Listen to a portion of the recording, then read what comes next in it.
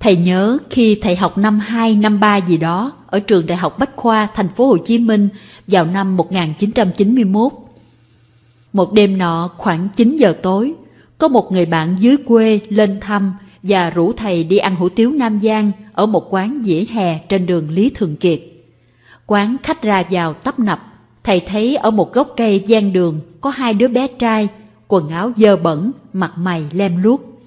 Đứa lớn khoảng 7 tuổi, có vẻ dạng dĩ. Đứa nhỏ 4-5 tuổi, nhỏ xíu, tỏ ra nhút nhát hơn. Chúng đang cầm cái lon, cái bọc gì đó, đứng lấp ló ở gốc cây nơi gần bàn ăn của một đôi nam nữ. Khi thấy đôi nam nữ tính tiền xong, vừa đứng lên là chúng chạy tới. Sớt liền phần ăn thừa của hai tô hủ tiếu đổ vào cái lon và hai ly trà đá uống dở vào trong cái bọc. Lúc đó cô chạy bàn chạy đến quát tháo đuổi chúng đi. Chúng lại chạy ra gốc cây lấp ló rình mò. Thầy lấy làm lạ nên để ý theo dõi. Hai đứa đợi một ông khách sang trọng vừa ăn xong đứng lên, chúng lại chạy ào vào. Lúc này chúng không sớt hủ tiếu thừa nữa, mà nhanh như cắt, đứa lớn cầm tô cho đứa em hút một hơi, rồi nó cầm hút lấy hút để, chớp một cái sạch dao. Đứa em lấy ly trà đá còn dư uống cái ực, rồi đưa cho anh nó một cách khẩn trương. Cô phụ việc chạy đến cầm mấy chiếc đũa định rượt đánh hai đứa nhỏ. Thầy ngăn lại hỏi, chuyện gì vậy cô? Cô phụ việc cầu có nói, mấy cái thằng bụi đời dơ giấy, đến đây ăn đồ thừa kiểu này ma nào dám tới ăn nữa. Thầy ra hiệu cô thôi đi, thầy nói, này cô, cô mang cho tôi hai tô hủ tiếu đặc biệt có trứng gà nhé. Cô phụ việc miễn cưỡng làm theo. Thầy quay sang hai đứa nhỏ rụt rè sợ sệt, lấp ló bên gốc cây dầu, giọng triều mến. Này hai cưng, vào bàn ăn đi, bữa nay anh đãi, đừng sợ không tiền trả. Cả hai đứa ái ngại, dò xét, chắc trong bụng chúng nghĩ, trên đời này có người nào lại tốt vậy sao? Nhưng với thiện ý và lời lẽ nhẹ nhàng của thầy khiến hai đứa bé an tâm. Thầy lấy tay đẩy nhẹ chúng ngồi vào bàn khuất nơi gần gốc cây. Hai tô hủ tiếu nóng hổi, nghi ngút khói dọn lên. Thầy bảo, hai đứa tự nhiên ăn đi. Hai đứa nhìn thầy có vẻ ngại. Thầy thấy vậy để chúng tự nhiên và trở lại bàn giả vờ ăn tiếp, nhưng để ý theo dõi. Chúng không ăn liền và ra ám hiệu gì với nhau. Đứa nhỏ chạy ra gốc cây, lấy cái lon và cái bọc vào. Quan sát không thấy ai để ý, nhanh như cắt, chui ngang gầm bàn. Mở cái bọc ra cho anh nó đổ hết tô hủ tiếu vào, xong chui về chỗ ngồi. Đứa lớn lấy cái lon mở nắp đổ hết phần thức ăn sớt từ chiều vào tô và đổ hủ tiếu từ bọc vào lon. Xong, hai đứa quan sát không thấy ai để ý, chúng giả bộ bình thản như không có chuyện gì xảy ra.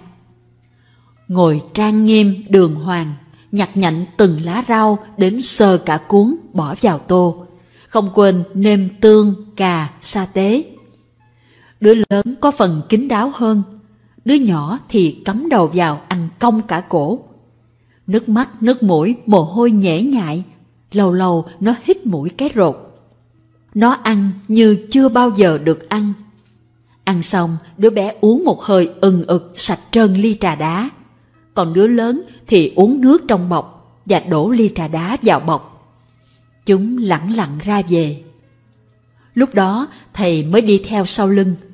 Chúng giật mình. Thằng lớn lấy cái lon và bọc trà đá giấu phía sau lưng, dường như sợ thầy lấy lại. Thầy ôm tồn hỏi. Sao mấy đứa không ăn hết mà mang về làm gì? Thấy hai đứa ấp a ấp úng, không nói nên lời. Thầy hỏi lần nữa. Có việc gì khó nói à? Thằng lớn cúi đầu xuống khóc thúc thích như đè nén từ lâu. Nó vừa khóc vừa nói. Con, con mang về cho mẹ. Thầy ôm tồn bảo. Mẹ bị làm sao? Mẹ con bệnh mấy ngày không ăn gì. Nói rõ xem nào, mẹ đang ở đâu? Nó chỉ tay về góc phố và hướng dẫn thầy đến đó. Ở một góc đường gần ngã tư vắng vẻ, Bóng đèn bạc lại từ xa, nửa tối nửa sáng. Gần đó có mấy quán bia bán bên lề đường. Một mùi hôi của nước tiểu bốc lên nồng nặc. Cách đó không xa, một dãy xe đựng rác tập kết bốc mùi khó chịu. Thằng lớn chỉ tay cạnh bức tường rào dưới một cái bao đựng gạo cắt ra che bên trên. Một người đang nằm co ro có vẻ mệt nhọc. Dưới ánh đèn nhợt nhạt, người đàn bà chưa đầy 30 tuổi, tóc rối, ốm yếu, xanh xao, cặp mắt sâu thẳm có quần do mất ngủ. Người đàn bà nhìn thầy vẻ ái ngại. Thầy hỏi, Chị bị bệnh à? Có thuốc men gì chưa? Cô ta lắc đầu, cúi xuống. Qua trao đổi, mới biết cô và hai cháu đang ở lang thang không nhà cửa. Sau đó, thầy giúp cô về Bình Phước, quê ngoại của hai đứa bé. Cô còn người mẹ già đang sống với gia đình người em trai cũng nghèo lắm. Cô cứ bệnh hoạn hoài, xem ra không thể nuôi nổi hai đứa con, nên cô quyết định cho bớt một đứa nhỏ. Có người mai mối, hai vợ chồng ông người Pháp sinh con nuôi. Thủ tục đã xong, buổi chiều chia tay cũng đến. Tý và Tèo, tên hai anh em, theo mẹ về Bình Phước ở cạnh nhà ngoại có căn chòi của chủ đất giữ vườn rồi họ về thành phố nên ba mẹ con ở tạm. Có cháo ăn cháo, có rau ăn rau. Ngày ngày mẹ phải gánh rau ra chợ bán kiếm tiền. Tí và Tèo cũng ra giúp mẹ lựa rau sâu. Những tưởng gia đình hạnh phúc. Bất ngờ vào tối hôm đó sau buổi ăn, mẹ kêu Tèo và Tí đến vuốt ve hai con. Mẹ nói, hai đứa có thương mẹ không? Dạ thương, hai đứa nũng nịu. Thương thì phải nghe lời mẹ dạy. Dạ. Ba con mất sớm, mẹ bệnh hoài. Mẹ muốn các con sống đầy đủ và có ăn học như bao nhiêu người khác. Nhưng mẹ không thể nuôi hai con. Có hai vợ chồng ông người Pháp đàng hoàng lắm, muốn xin con nuôi. Mẹ dự định cho Tèo đi theo vợ chồng ông ấy. Sáng mai người ta đến. Quá bất ngờ trước quyết định của mẹ, Tí và Tèo ngỡ ngàng. Tèo la lên, con không chịu đâu, con sống với mẹ. Ờ ờ thì sống với mẹ. Bà mẹ nén nỗi xúc cảm. Đêm hôm đó cả ba mẹ con không ai ngủ, mỗi người đều có một dòng suy tư. Riêng Tèo nó linh cảm một cái gì đó. Sáng sớm thấy hai vợ chồng ông Tây to đùng và mấy người đến nhà. Tèo nấp vào kẹt lu đựng nước. Qua trao đổi với người phụ nữ xong, một thanh niên bước đến dẫn Tèo ra. Nó không chịu cố bám vào thành lu kêu lên. Mẹ, mẹ, mẹ đừng cho con, mẹ ơi! Người đàn bà nói trong nước mắt. Ở với mẹ con lấy gì mà ăn? Con ăn gì cũng được, con uống nước cũng được. Mẹ đừng cho con, con sợ lắm. Thấy mẹ nó ngồi bệt xuống đất, tay nắm chặt giặt áo, nước mắt chảy ràng rụa, có vẻ không ăn thua. Nó quay qua kêu, anh hai, anh hai cứu em. Lúc này tí không biết gì nữa, nó cứ ôm ghì lấy gốc cột mà khóc. Trong lúc anh thanh niên bế thóc tèo lên, bà người Pháp đi theo vuốt ve. Nó dãy dụa nhưng vô hiệu. Nó không biết tại sao mẹ nó lại đem nó cho một người xa lạ. Không hiểu sao anh nó lại không binh giật nó. Khác với những ngày lang thang, có hôm anh nó dám rượt lũ chó khốn kiếp mà anh nó rất sợ để bảo vệ nó. Có lần anh nó dám xông vào đánh cái thằng to con ăn hiếp nó, để rồi anh nó bị người ta đánh sưng cả mặt. Anh nó từng nhường cho nó hút trước những tô phở thừa, còn cặn lại mới húp sau. Vậy mà hôm nay cả mẹ và anh nó không còn thương nó nữa rồi. Nó sinh tâm trách hờn, oán giận mẹ và anh nó. Ôm lòng hờn trách đó mà mười mấy năm nay nó chưa một lần viết thơ từ hỏi thăm mẹ và anh nó. Cho đến một ngày nó tốt nghiệp trường trung học ở Pháp. Cha và mẹ nuôi nó bảo về Việt Nam thăm gia đình nó mới miễn cưỡng đi về với cái tên Pierre Tèo. Khi đặt chân lên mảnh đất quê hương, nó không có một chút cảm giác gì thân thiện cả. Vì nơi đây, mảnh đất này đã từ chối nó, thì không lý do gì nó yêu quý cả. Lần theo địa chỉ với vốn tiếng Việt ít ỏi, nó cũng tìm ra nơi chốn xưa. Nó nghĩ mẹ và anh nó sẽ ngỡ ngàng khi thấy nó, một chàng thanh niên trắng trẻo, đẹp trai trở về từ một nước văn minh. Ngôi nhà ngày xưa đã không còn nữa, dấu vết thời gian như phủ kính, rêu phong. Nó lần dò đến nhà ngoại, cậu nó đi vắng, mợ nó đã trao cho nó một gói quà to to, bảo của mẹ nó gửi cho nó làm kỷ niệm. Nó mở quà ra, là một tấm hình ép gỗ, hai vợ chồng và hai đứa con. Nhìn người đàn bà, nó nhận ngay ra là mẹ nó, và nó cũng nhận ra anh hai. Một thoáng trong ký ức, đây chắc là cha mình, đây là anh mình đây. Một cái hộp trang trọng, nó mở ra xem, thấy bức thơ được viết chữ nắng nót. Tiếc thay nó không biết đọc chữ Việt, nó nhờ một người khác đọc xem nội dung ra sao. Nó chờ đợi. Một người con gái của cậu giúp nó làm việc đó. Tèo, con yêu quý của mẹ. Nó biểu môi, yêu mà cho người ta. Khi con nhận được bức thư này, chắc mẹ và anh con không còn trên đời này nữa. Nhưng trong thế giới bên kia, mẹ vẫn dõi theo con từng giờ, từng phút. Nó giật mình, ngỡ ngàng không hiểu gì cả, bán tính bán nghi. Con biết không, ba con và mẹ gặp nhau ở một công trường xây dựng rồi lấy nhau. Hai con lần lượt chào đời. Tuy gia cảnh nghèo, vất vả, phải ở nương nhờ nhà nội chật chội trong thành phố mà vẫn vui. Cha con bị người ta rủ rê chích ma túy nên bị nhiễm HIV khi nào không biết. Nhưng khi cưới mẹ là cha đã cai và quyết làm lại từ đầu. Nhưng số phận nghiệt ngã, con virus đó đã lây sang mẹ và anh hai của con. Nhưng con may mắn không nhiễm. Sau khi cha con qua đời, gia đình nội con sợ bị mẹ con mình lây bệnh nên đuổi chúng ta ra khỏi nhà. Đó là lúc gia đình mình ở ngoài vỉa hè. Mẹ đi bán vé số, đến lúc hết vốn phải đi lượm bọc ni lông và lon bia sống qua ngày. Hai con phải đi sớt thức ăn thừa của người ta trong những ngày mẹ ốm đau không có tiền. Sau đó, mẹ con ta về quê ngoại tá túc. Bệnh mẹ càng ngày càng trầm trọng.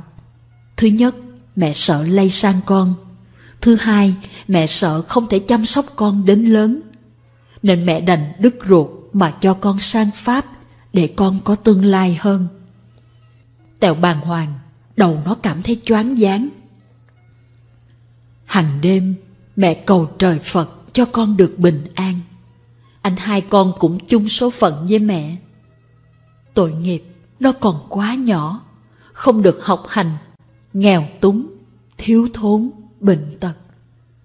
Ước nguyện sau cùng là mẹ xin con, tha thứ cho mẹ.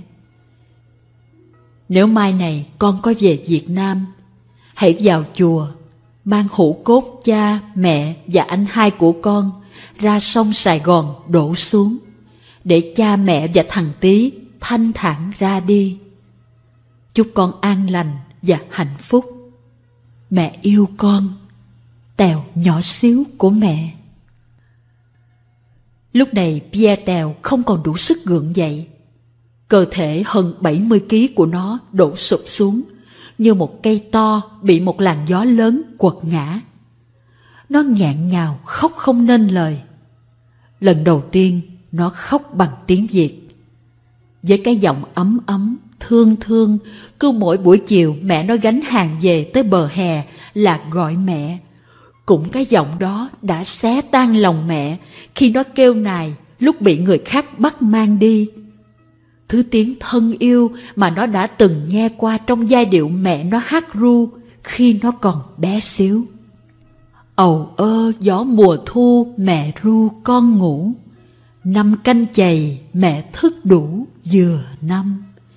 Con đi cách trở xa xăm, quê hương mẹ đợi, ầu ơ, bao năm con chưa về.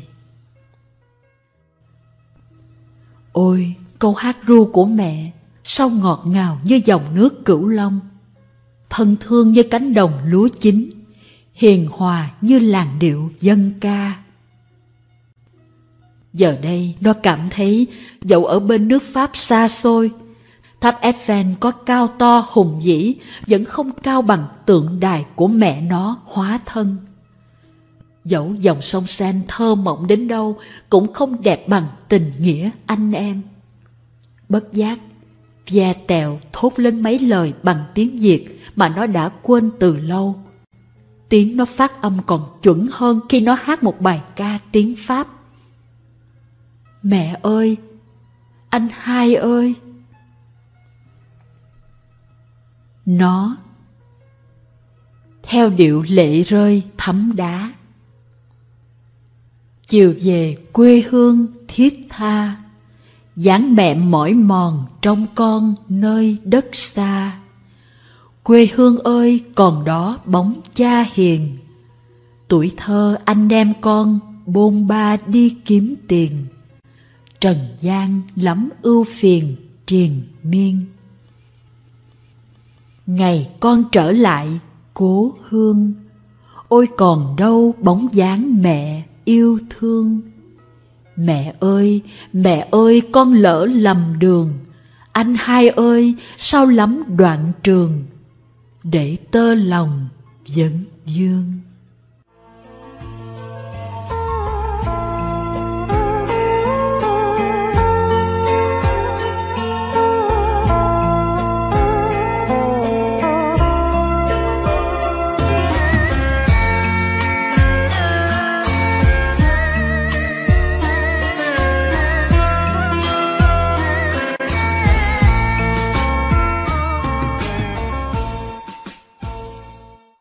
Ánh nắng chiếu le lói qua ô cửa sổ. Tôi ngồi dậy một cách nặng nề, mệt nhọc, vì tôi vừa trải qua một ca phẫu thuật quan trọng nhất trong đời. Người ta đã thay cho tôi một quả thận mới. Nó đã bắt đầu hoạt động, xu hướng hết sức khả quan. Món quà sinh nhật Tay chân và cả người tôi nhẹ nhàng ra, xoay trở cũng thoải mái hơn trước. Tôi thử ấn mạnh vào da rồi buông ra, vết khuyết vào dường như không còn. Như vậy có nghĩa là tôi đã hết phù, thận đã hoạt động tốt trở lại. Tuy vết mổ còn rất đau, nhưng tôi mừng thầm vì cơ hội sống của tôi đã đến. Tôi có thể học tiếp đại học sư phạm, ngành mà tôi đã ước mơ từ nhỏ. Trên chiếc bàn đặt ở cạnh đầu giường của phòng hậu phẫu gói quà nhỏ xíu, xinh xắn, được gói cẩn thận, hoa hồng màu đỏ thắm và chiếc nơ vàng rực rỡ. Tôi thấp thỏm chờ đợi mở món quà sinh nhật của mẹ tôi, vì hôm nay đúng là ngày sinh nhật lần thứ 20 của tôi. Tuy không dư giả gì lắm, nhưng năm nào mẹ tôi cũng tặng tôi những món quà mà tôi yêu thích nhất, có những món rất đắt tiền. Mẹ tôi phải nhịn cả ăn sáng để dành tiền bỏ ống heo. Tôi biết được điều đó nên tôi càng thương yêu mẹ hơn. Nhưng tôi không đời nào lại muốn mẹ tôi phải vì món quà sinh nhật làm cho tôi vui lòng mà lại chịu khổ như vậy. Nhìn dáng mẹ hao gầy, già trước tuổi, lòng tôi như xe lại. Tôi nói, mẹ đừng tặng con quà sinh nhật nữa, để dành tiền chăm lo sức khỏe cho mẹ. Món quà lớn nhất của con là có mẹ bên cạnh. Bà xoa đầu tôi như truyền tất cả sự yêu thương và hy vọng sang tôi. Từ ngày cha tôi mất với căn bệnh ung thư phổi quái ác, mẹ tôi dường như già đi. Có người bảo cha tôi do hít phải bụi phấn nhiều quá nên sinh bệnh. Mà họ nói cũng có thể lắm chứ.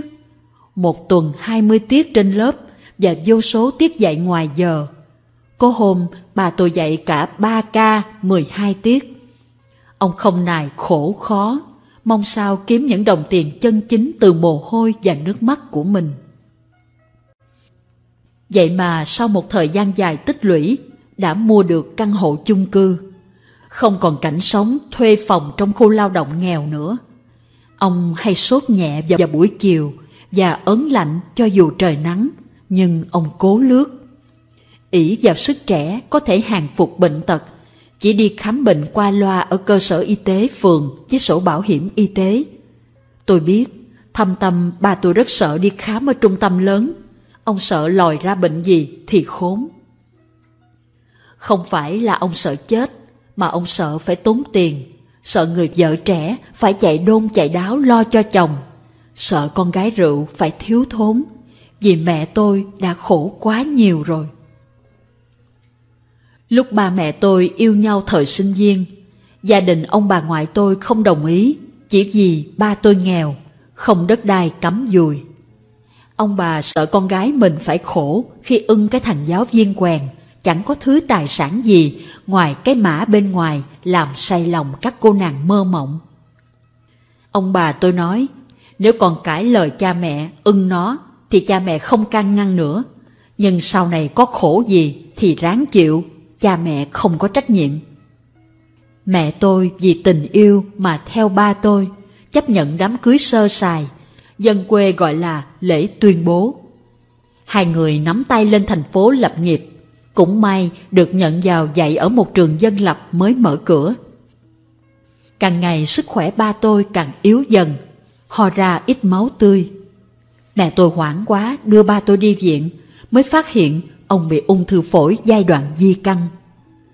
Không bao lâu, ba tôi qua đời. Tất cả các gánh nặng đều đè lên vai mẹ. Mẹ sống vì tôi, không màng đến những người đàn ông xung quanh, không ít lần bóng gió xa gần. Mấy năm nay tôi cứ bệnh liên miên. Bác sĩ kết luận bị hội chứng thận hư. Người tôi mỏi mệt, rũ rượi như ma nhập. Mình mẩy căng tròn lên. Bác sĩ yêu cầu phải chạy thận và họ đề nghị phải phẫu thuật ghép thận. Nếu không tôi không thể kéo dài mạng sống lâu hơn. Mẹ tôi với đồng lương giáo viên khiêm tốn còn phải lo cho tôi ăn học Bảo hiểm y tế không thể chi trả cao phẫu thuật lớn như vậy. Nếu đi ghép thận ở Trung Quốc, trọn gói cũng khoảng trên 400 triệu đồng. Điều kiện nhà tôi thì không thể. Mẹ tôi hết sức đau khổ khi nhìn thấy con gái sức khỏe mỗi ngày mỗi tệ đi.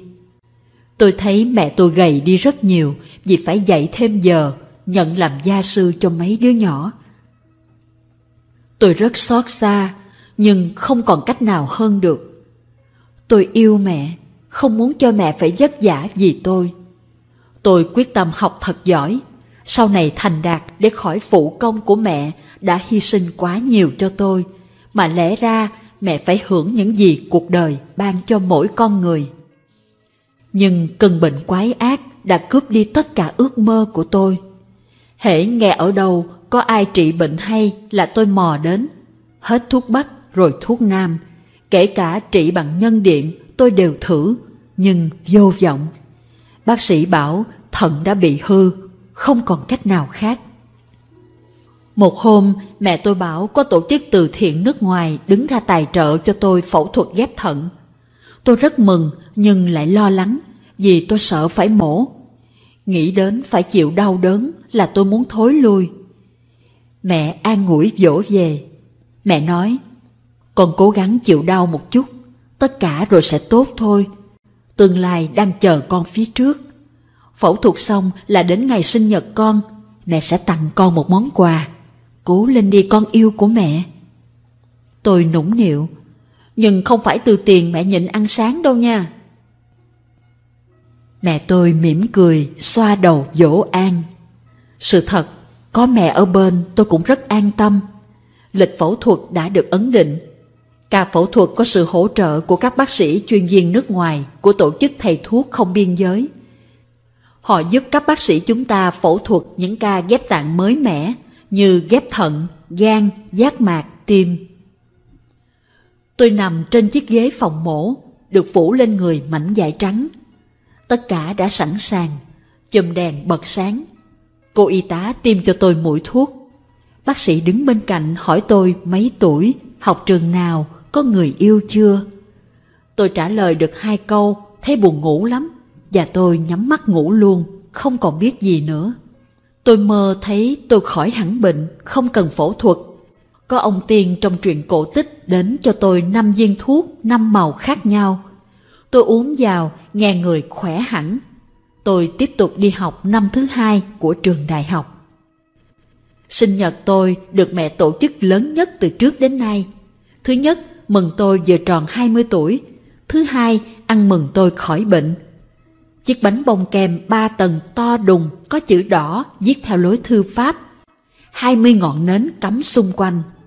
Tất cả bạn bè tôi xưa nay đều đến chúc mừng đông đủ. Ôi những món quà dễ thương làm sao, từ búp bê cho đến các thứ đồ chơi tôi thích. Chiếc nhẫn ngọc trai nuôi ở đầm sen, sợi dây chuyền vàng trắng xinh xinh, chiếc đồng hồ Thụy Sĩ, xe Spacey màu huyết. Đặc biệt là chiếc máy tính laptop hiệu IBM tôi hằng mơ ước, nay trở thành hiện thực. Tôi lộng lẫy trong chiếc đầm trắng phao như nữ hoàng Anh. Mẹ tôi hôn tôi, hãnh diện với nhan sắc con gái, mang mát hình bóng người chồng. Một, hai, ba. Tôi thổi một hơi dài, tắt tất cả các ngọn nến. Căn phòng trở nên tối đen, tôi không nhìn thấy ai nữa. Khi tôi mở mắt ra, thấy thân thể nặng nề, hơi đau. Định thần nhận ra mình đang nằm ở phòng hậu phẫu, không ai được vào, chỉ có mấy cô y tá chăm sóc. Tôi đợi hàng giờ không thấy ai đến mừng sinh nhật tôi. Chỉ có mấy cô y tá đến tiêm thuốc và trực vô nước biển. Tôi hỏi, chị ơi, phòng này có cho bạn em vào thăm được không? Mỉm cười, không em ơi, đợi khi em khỏe, bác sĩ cho ra phòng ngoài thì có thể. À, mà em có quà sinh nhật nè. Cô y tá lấy gói quà đưa tôi. Bên ngoài có dòng chữ viết nắng nót. Chúc mừng sinh nhật con, mong con khỏe mạnh, chống bình phục. Mẹ yêu con nhiều lắm. Tôi mở gói quà ra xem. Ồ, chiếc nhẫn vàng xinh xinh, trên có viên ngọc trai hồng mà tôi rất thích. Năm trước đi chơi ở đầm sen, tôi nhìn thấy thích chiếc nhẫn này mà không đủ tiền mua, đến 450 ngàn. Tôi về kể cho mẹ nghe, mẹ không nói gì. Một năm trôi qua, vậy mà mẹ tôi vẫn nhớ. Tôi lấy đeo vào tay thật vừa vặn. Tôi rất thích như quên đi cảm giác đau đớn. Tôi nói thầm, con yêu mẹ, mẹ ơi. Tôi đợi hoài không thấy mẹ tôi vào thăm. Chắc có lẽ phòng hậu phẫu này người nhà không được vào thăm hay sao ấy. Các người vào thăm tôi không biết họ là người nhà hay bác sĩ vì họ toàn mặc áo blue trắng cả. Tôi mong gặp mẹ để cảm ơn món quà sinh nhật mà mẹ đã tặng tôi. Tôi hỏi cô y tá hơi lớn tuổi. Cô ơi, bao giờ con được ra phòng ngoài hả cô? Cô y tá nhìn tôi thông cảm trả lời. Khi nào có người nuôi bệnh đến nhận, chắc chiều hoặc mai thôi cháu à. Thế còn mẹ cháu đâu? Tôi thắc mắc. Mẹ cháu nhờ bạn đồng nghiệp nào đó nuôi cháu, họ hứa chiều nay mới vào. Nhưng một mình mẹ cháu cũng có thể chăm sóc cho cháu mà. Cô y tá trốn mắt nhìn tôi, tỏ vẻ như ngạc nhiên. Cháu không hiểu à? Mẹ cháu đang nằm ở khu hồi sức bên kia. Tôi giật mình hỏi lắp bắp. Mẹ, mẹ cháu bị làm sao vậy cô? Thì mẹ cháu phải phẫu thuật mới lấy được một quả thận thay cho cháu chứ. Tôi bàng hoàng. Trời ơi! Tim tôi như nghẹn lại. Nước mắt ở đâu cứ tuôn ra. Thì ra, món quà sinh nhật mà mẹ tặng tôi lúc tròn 20 tuổi không phải là chiếc nhẫn, mà là quả thận của mẹ tôi.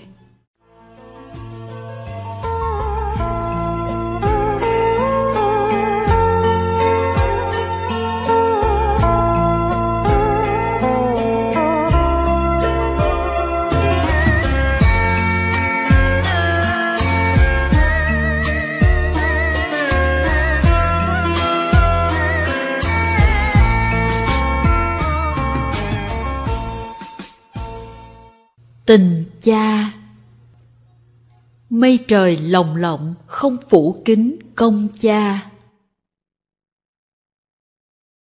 Một nửa lá gan Mary vừa tốt nghiệp đại học xong, cô lập tức gia nhập vào đội ngũ thầy thuốc không biên giới. Cô học chuyên khoa phẫu thuật ghép tạng. Đây là nghề cô mơ ước hay là nghiệp cô phải mang, cô không biết nữa. Rời đất nước Thụy Điển, cô sang Việt Nam trong một chương trình nhân đạo. Đối với các nước Tây Âu, việc ghép tạng là chuyện thường nhật. Người có nhu cầu cần những bộ phận để ghép như thận, gan, tim, giác mạc thì nhiều, nhưng các bộ phận để ghép thì rất hiếm. Chủ yếu lấy từ các ca tử vong. Gần đây cũng có rất nhiều trường hợp mua tạng từ người còn sống. Họ cần tiền, người ghép cần bộ phận. Đây là một vấn đề hết sức tế nhị và liên quan đến đạo đức. Chưa có một bộ luật cụ thể nào quy định rõ ràng về vấn đề này. Chỉ thuận mua vừa bán, chủ yếu họ thực hiện lén lút. Cha của Mary là một công nhân. Khi cô học cấp 2 thì bệnh gan của cô trở nên trầm trọng, gan không còn chức năng hoạt động tốt nữa. Bác sĩ đề nghị phải phẫu thuật ghép gan. Nếu kéo dài lâu sẽ nguy hiểm đến tánh mạng. Việc tìm lá gan để ghép đã là khó, giả lại chi phí mua và ghép quá lớn lên đến 250.000 đô la Mỹ. Cha cô không thể nào ngồi nhìn con mình càng ngày càng yếu dần đi, nước da xanh tái. Cuối cùng, ông đã đề nghị bác sĩ tiến hành phẫu thuật ghép gan cho con gái mình. Bác sĩ khuyên ông tuổi cao có rất nhiều rủi ro khi phải cắt một phần gan của ông. Nhưng ông khăng khăng không nghe. Ông nghĩ đời ông đã sống nhiều rồi, còn con gái ông chỉ mới bấy nhiêu tuổi đời, nó phải có quyền được sống. Dù chết, ông cũng không hối hận. Ca phẫu thuật ghép gan lấy từ một nửa lá gan của cha cô ghép sang thành công tốt đẹp, đã cứu sống cô khỏi bàn tay của tử thần. Nhưng niềm vui đối với cô bao nhiêu thì nỗi buồn còn lớn hơn thế. Cha cô bị nhiễm trùng, tuổi cao, sức đề kháng của ông kém. Bác sĩ tận tình cứu chữa nhưng ông không qua khỏi. Trước khi trút hơi thở cuối cùng, ông đã dặn dò Mary học cho thật tốt để trở thành một bác sĩ phẫu thuật ghép tạng thật giỏi để cứu sống thật nhiều người, cứu cả hai, kể cả người cho và người ghép. Lời di ngôn sau cùng đó trở thành sức mạnh theo cô trên từng đoạn đường đời, giúp cô vượt qua muôn ngàn chông gai hiểm trở. Nó như lá bùa hộ mạng cô mang theo. Lần này đến Việt Nam, cô muốn chuyển giao tất cả kiến thức khoa học hiện đại của công nghệ y khoa, phẫu thuật ghép tạng. Một đất nước đang phát triển, ngành khoa học phẫu thuật ghép tạng còn mới mẻ. Rất nhiều người phải chết, lẽ ra họ có thể sống nếu được phẫu thuật ghép tạng. Mạnh nhìn con gái càng ngày càng ốm o, gầy mòn, da xanh tái đi. Dường như lá gan của cháu chỉ đeo vào cơ thể cho nặng thêm, chứ nó không còn chịu làm việc nữa. Cháu biến ăn do không tiêu hóa tốt. Ban đầu ngỡ cháu bị đường ruột, hóa ra là gan bị tổn thương. Mọi cố gắng của anh trở nên vô vọng. Khi thấy bác sĩ chuyên khoa lắc đầu sau khi xem kết quả bệnh án của cháu. Cháu thường than đau hông bên phải. Người cháu gầy, bụng to, thở hổn hển. Ánh mắt cháu thâm đen, sâu dời dợi, chứa nỗi buồn vô tận. Khi không được vui cùng bè bạn, không được cấp sách đến trường, không được tung tăng chạy nhảy. Ba ơi, ba dẫn con đi bác sĩ đi, con đau quá ba ơi. Hạnh nhìn ba như gian lơn, như cầu cứu, như con chim non bị trúng tên lão đảo. Trong khi người cha bất lực vì mũi tên quá sâu, chỉ biết nhìn con nghẹn ngào mà thầm căm thù tên thợ săn tàn nhẫn. Cả nhà ai cũng thương hạnh, đi khắp nơi dò hỏi xem có thầy nào hay, thuốc nam, thuốc bắc nào tốt, giái gian, cúng kiến, nhân điện. Cuối cùng vẫn không có kết quả. Người mẹ chỉ biết nhìn con gái trong giọt nước mắt đầm đìa.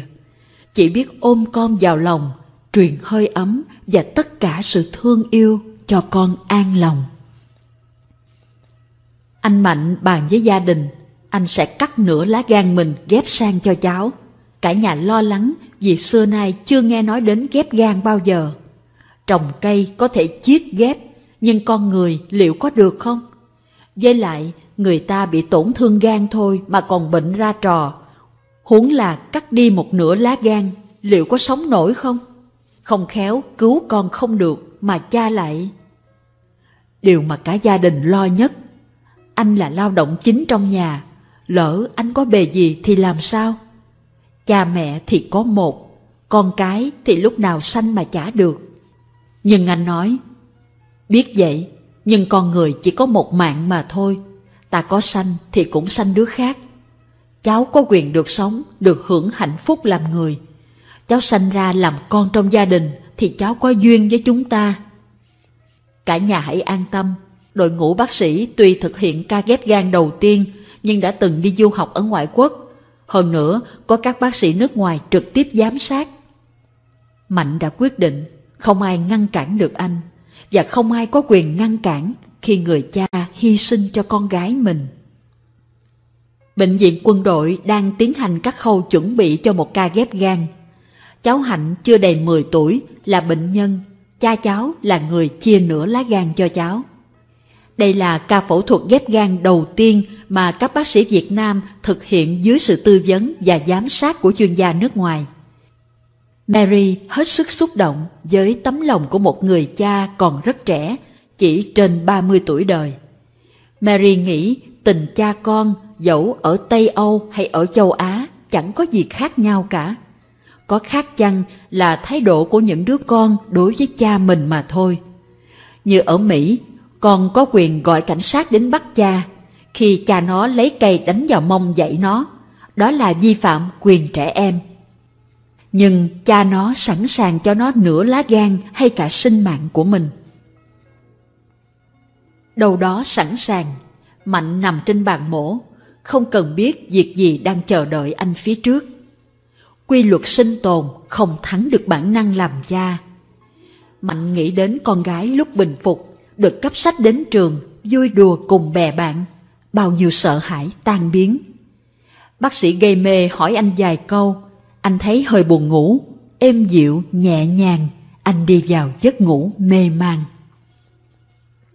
Ca phẫu thuật diễn ra hơn 12 giờ, bác sĩ tách một nửa lá gan của anh là cơ quan to nhất của tạng ghép sang cháu bé. Phẫu thuật gan là ca phẫu thuật vô cùng phức tạp, nhất là khâu giá gan. Nó không chắc như cấu tạo thịt mà nó mềm nhũn, chỉ mạnh tay một chút là dở ra ngay. Phải cẩn thận trong mọi chi tiết, nhẹ nhàng, chính xác. Cuối cùng các bác sĩ Việt Nam cũng đã thành công. Họ là những người thông minh, nhiệt tình và năng nổ mọi cố gắng của họ được đền đáp xứng đáng. Bước đầu ca phẫu thuật đã được thành công. Điều lo lắng của bác sĩ sau phẫu thuật là sự đào thải của cơ thể khi vật lạ xâm nhập vào. Họ phải chích một loại thuốc để chống lại sự đào thải này. Cháu bé dần dần tỉnh lại, bình phục dần, các chỉ số kỹ thuật ổn định. Cháu đi cầu phân bắt đầu có màu vàng nhạt. Thế là gan hoạt động nghĩa là ca phẫu thuật hoàn toàn thành công. Chỉ ba ngày sau, Mạnh ngồi trên xe đẩy sang thăm con gái, khi vết thương anh còn đau nhói bên hông. Nhìn thấy cháu bé bình phục từng ngày, rất nhanh, nhưng cha cháu thì ngược lại. Anh cố gắng đè nén cơn đau khi nhìn thấy con gái mình bình an vô sự. Anh nở một nụ cười nhẹ nhõm. Buổi sáng ban mai, ánh mặt trời chiếu qua sân bệnh viện vàng rực. Hai cha con họ làm thủ tục xuất viện. Hình ảnh của người cha đi nặng nề từng bước vì bên hông vẫn còn nhói đau. Bên đứa con gái yêu đã bình phục. Cháu đang vui đùa với con gấu bông. Chiếc xe taxi xa dần mút tầm mắt, chỉ còn để lại một vệt màu đen dài trên mặt đường. Mary đứng nhìn đến khi xe chở cha con họ mất hút trong bụi đường, lòng tràn đầy hạnh phúc. Cô nhủ với lòng, cả cuộc đời này mình nguyện đem niềm vui đến cho toàn thể nhân loại. Cuộc sống này chính là cha mình ban cho. Cha không bao giờ chết, vì một nửa lá gan cha còn nằm trong lòng ngực mình kia mà. Cho dù là phương Tây hay phương Đông, cho dù sắc tộc màu da nào đi nữa, hãy trót làm cha, làm mẹ, thì luôn có mẫu số chung là lòng hy sinh vô bờ bến cho con, không tiếc cả sanh mạng của mình. Có câu, tuy hùng dữ xưa nay khét tiếng, khi kiếm tìm được miếng mồi ngon, mẹ hùng nhường lại cho con, con no mẹ mới gặm bòn khúc dư. Nhân trung hiếu đạo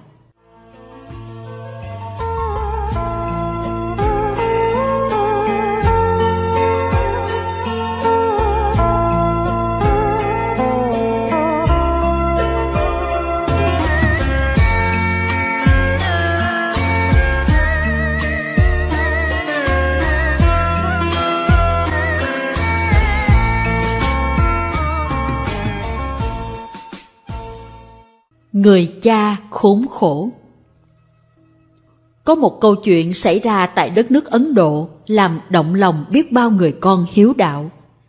Tục lệ của Ấn Độ chết sáng, chiều thiêu, chết chiều, sáng thiêu, rồi rải tro xuống sông.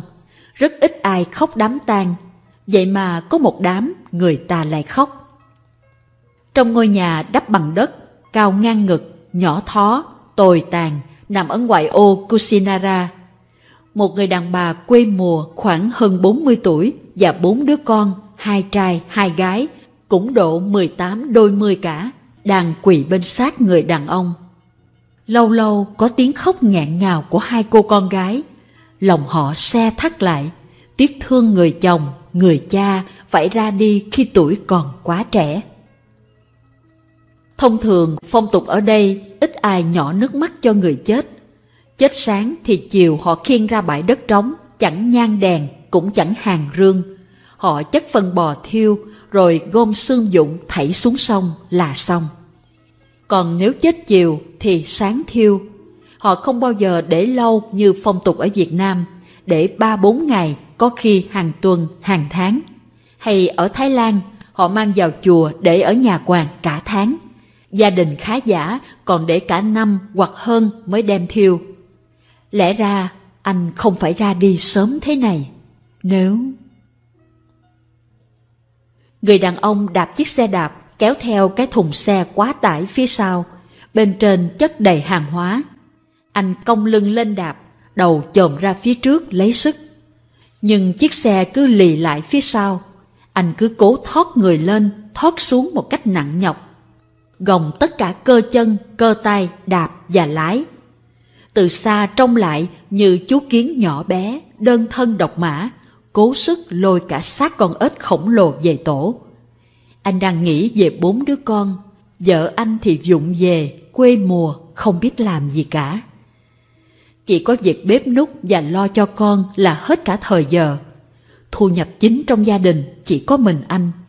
Gia đình anh có truyền thống không làm nô lệ thì cũng làm nghề hạ bạc Tổ tiên Anh xuất thân từ giai cấp Thủ Đà La, là một trong bốn giai cấp ở Ấn Độ. Kunda chua xót với cái thân phận mà mình đã mang. Tuy xã hội Ấn Độ ngày nay, việc phân chia giai cấp đã không còn nặng nề như xưa, nhưng có mấy ai trong giai cấp nghèo hèn đó lại có thể vươn lên thành những bà la môn cao quý. Anh nhất quyết lo cho con ăn học đến nơi đến chốn, để chúng thoát khỏi cái nghèo, mà muôn đời đeo đẳng theo cả dòng họ nhà anh. Cho chúng giới tới chân trời văn minh của nhân loại, không còn cảnh sống làm 10 đồng, ăn hết 10 đồng đó rồi mới làm tiếp. Không còn tình trạng ở mái nhà làm bằng đất cao ngang ngực, trâu bò vào nhà ngủ thì người ra nằm ngoài trời. Cảnh hai vợ chồng có mỗi chiếc khố, chồng ra ngoài, vợ ở lại và ngược lại hay cảnh thức ăn và rau sống để vậy dí vào nồi mà không cần rửa nước. Nghĩ đến những đứa con, đứa nào cũng tốt nghiệp đại học, đứa nào cũng có địa vị trong xã hội, anh cảm thấy bao nhiêu mệt nhọc đều tiêu tan hết. Kunda là một trong những người chịu thương chịu khó bậc nhất ở làng Anh. Từ sáng sớm đến chiều tối, không kể ngày hay đêm, hễ ai cần chở bất cứ thứ gì, anh liền đi ngay, miễn sao có tiền. Cả bốn đứa con đều phải gửi ra tỉnh học. Tiền thuê nhà, tiền trường, tiền quần áo, tiền sách vở, làm anh chạy dậy mãi vẫn không xong. Mỗi đầu những năm học, anh phải đi vay nợ để lo cho con rồi trả góp lần. Cuộc đời anh không được phép bệnh, anh chỉ cần không đạp xe một ngày là gia đình khốn khó ngay.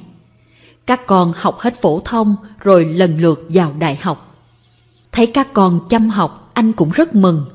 Bao nhiêu công sức bỏ ra chắc chắn sẽ được bù đắp xứng đáng. Nhưng học càng cao thì nhu cầu lại càng nhiều. Anh đã kiệt sức, nợ nần chồng chất.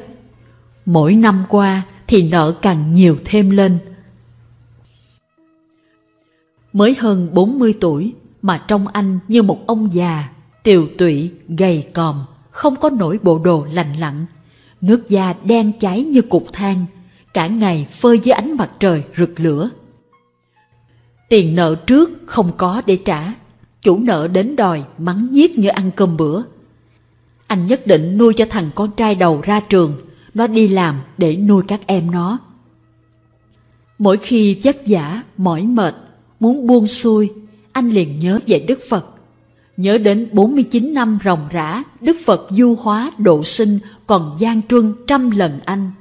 Và anh hãnh diện, Đức Phật đã chọn quê hương anh để nhập Niết Bàn. Khi nhớ đến Phật, dường như mọi nỗi khổ niềm đau trong anh tan biến hết và anh tiếp tục sống. Giờ lại đến đầu năm học mới, không còn chỗ nào để có thể vay mượn. Các con anh cần phải tiếp tục học. Anh nghĩ cái gì cũng có giá của nó, nên anh quyết định bán bớt một cái võng mặt mắt. Trời sanh ra bộ phận nào hai cái thì ta có thể bán bớt một cái cũng chẳng ảnh hưởng là bao. Còn một con mắt anh có thể đạp xe, anh có thể lao động bình thường. Thông qua gã cò buôn bán tạng, anh được dẫn vào bệnh viện. Qua kiểm tra một số chuyên môn chớp nhoáng, họ đã lấy đi giác mạc bình mắt trái của anh. Bù lại, anh được nhận 500 đô. Cái giá mà người chủ mua phải trả cho người môi giới là 4.800 đô. Điều này anh không cần biết và anh cũng chẳng quan tâm. Điều anh quan tâm lúc này là cần đóng tiền trường và trang trải cho các con. Chỉ hai lần đầu năm nữa thôi là anh có thể nhẹ người khi con trai đầu tốt nghiệp. Việc anh bán đi giác mạc, con anh không hề hay biết. Hàng tháng, anh vẫn gửi tiền cho chúng đều đặn. Anh động viên chúng cố gắng học. Bao năm trời trôi qua nhanh, chỉ còn hai năm thôi mà. Sao thời gian lại chậm thế? Anh ước gì thời gian lúc này trôi qua nhanh như tên bay, dẫu anh có già đi một chút cũng chẳng sao. Hết đêm rồi đến ngày, đầu năm học mới lại đến. Gia đình không dành dụm được đồng nào, nợ nần tính lời tính lãi càng tăng thêm. Còn anh phải học, đó là điều không thể thay đổi được. Rồi anh quyết định bán bớt một quả thận bên trái. Anh nghĩ rằng cái gì bên trái thì chẳng giúp được nhiều vì anh thuận bên phải. Cuộc phẫu thuật diễn ra nhiều giờ liền. Anh mất rất nhiều máu, phải nằm viện hơn một tuần. Họ chỉ cho anh mấy viên kháng sinh và thuốc giảm đau cầm chừng, cho anh vài hộp sữa bò bồi dưỡng. Khi anh tương đối bình phục nhưng vẫn còn đau, họ cho xuất viện. Số tiền anh bán quả thận lần này cũng chỉ được một ngàn đô. Trong khi người chủ mua trái thận của anh phải trả ba chục ngàn đô. Điều này anh không được biết và cũng chẳng quan tâm làm gì. Không như mất một con mắt, mất một quả thận có khác. Sức khỏe anh bị sụt giảm nghiêm trọng, nhưng anh phải làm, anh phải kiếm tiền lo cho các con. Giờ đây, giác những bao hàng làm cho anh đau nhói như muốn nghẹt thở. Anh cố gắng dùng tất cả ý chí. Anh niệm Phật, cầu Phật gia hộ cho anh có thêm dũng khí. Anh cong lưng lên đạp xe, ruột gan như thắt lại, vết mổ như muốn dở ra. Sau khi mổ, bác sĩ khuyến cáo không nên làm nặng, nhưng không làm thì không xong, anh phải làm. Đời anh sanh ra là để làm. Ở ngoại ô Kusinara này không làm thì lấy gì ăn? trừ những người da mặt dày, tụ tập ở những nơi Phật tích, ngửa tay xin tiền của khách hành hương, một ngày chỉ cần 5 ruby thôi cũng ổn. Một hôm do làm quá sức, anh đã ngất xỉu. Anh không còn sức để làm những công việc nặng nhọc như thế nữa. Anh ao ước có được một ngày nghỉ ngơi, được ăn một bữa ngon trong bộ đồ lành lặn. Niềm mơ ước đó xem ra còn quá xa vời. Không thể tiếp tục đạp xe kéo, anh chuyển sang nghề nhẹ hơn là nghề đánh bạc. Anh đi hết sòng bài gian đường này đến chỗ khác, xem ai có vận may là anh quẳng vài ruby vào ké. Vậy mà cả ngày anh vẫn kiếm được chút ít. Có hôm anh về nhà nhẵn túi. Trong khi bụng đói cồn cào, vì sáng giờ có chi vào bụng đâu. Đông sang rồi hè đến. Mấy chốc những tán cây cũng sắp úa vàng. Một năm học mới lại đến. Đây là năm con trai đầu ra trường. Chỉ một năm nữa thôi, anh có thể ngồi uống nước trà, ngắm nhìn mùa long thọ trổ hoa. Có thể nằm nhà đắp chăn khi mùa lạnh đến. Có thể ngồi trước cánh quạt quay dù mỗi độ hè sang. Và không còn cảnh đội mưa kéo xe bên lề đường đầy cỏ dại. Gia đình không còn lấy một xu. Con anh phải học. Đó là nhiệm vụ, là sứ mạng, không thể khác được. Anh ngồi tính, cái gì trong người anh có hai cái, anh đã chiết bán bớt một cái rồi. Từ trên xuống dưới chỉ còn có một mà thôi. Qua những tay cò mồi tư vấn, anh đi đến quyết định bán một phần lá gan. Cuộc phẫu thuật lần này tương đối phức tạp, thời gian kéo dài hơn mấy lần trước. Konda mất rất nhiều máu, sức khỏe anh kiệt quệ thật sự. Nếu có kỷ lục về phẫu thuật, có lẽ anh cũng đạt. Trong 24 tháng, ba lần phẫu thuật, ba lần phải chịu đau đớn. Lần này anh nằm viện lâu hơn, họ chăm sóc anh cũng đặc biệt hơn, nếu không anh sẽ mất mạng như chơi. Vừa bình phục, anh có thể ăn được cháo, họ cho anh xuất viện ngay để anh ở lâu sẽ mang họa. Lần này anh nhận được 2.000 đô, trong khi người chủ phải trả trọn gói cho lần phẫu thuật ghép gan là 250.000 đô. Anh không cần biết điều đó làm gì và anh cũng chẳng quan tâm. Anh không còn khả năng lao động được nữa, chỉ lê tấm thân đi thôi cũng đã là khó nhọc, huống là làm việc gì. Và anh xanh mét vì mất máu, anh bệnh hoạn liên tục. Có lẽ khi người bị yếu, khả năng đề kháng kém. Anh ho lụ khụ, mỗi lần ho là cả người anh rã rời, đau từ trong đau ra, lói bên hông mặt rất dữ. Tiền tháng phải lo cho các con thì không thể không có. Chỉ vừa cảm thấy khỏe một chút là anh lê thân đi các sòng cờ bạc tập trung từng nhóm gian đường. Thấy tụ nào đang đỏ thì ké vài đồng ruby. Chăm chú họ dở những lá bài như những người chơi chứng khoán chực chờ bên màn hình xem điểm, ghi lệnh, tay cầm ổ bánh mì dai nhách, không một miếng thịt. À mà không, dân ở đây ăn chay làm gì có thịt kia chứ, phải nói là không có mỗi miếng rau mới đúng. Nhìn tấm thân còm cõi, lưng khung như một ông già bệnh lao, anh nặng nhọc lê từng bước về nhà, mỏi mệt trong những buổi chiều hanh nắng. Thất thểu đếm từng xu, cẩn thận bỏ vào cái túi vải đeo nơi lưng quần làm bằng cọng dây nhặt bên đường. Cứ như thế, anh thoi thóp sống, hy vọng đến ngày con anh tốt nghiệp đại học. Cho đến một ngày, không ai còn thấy bóng dáng anh đâu nữa. Con trai lớn của anh sắp sửa ra trường. Giá mà có ai mua cái xác này mổ xẻ để thực tập, thì anh cũng làm giấy bán, ký tên trước, để sau khi chết, các con anh được ít tiền xoay sở lúc khó khăn. Anh thấy choáng váng, tấm thân lúc này như là một gánh nặng buộc anh phải mang nó.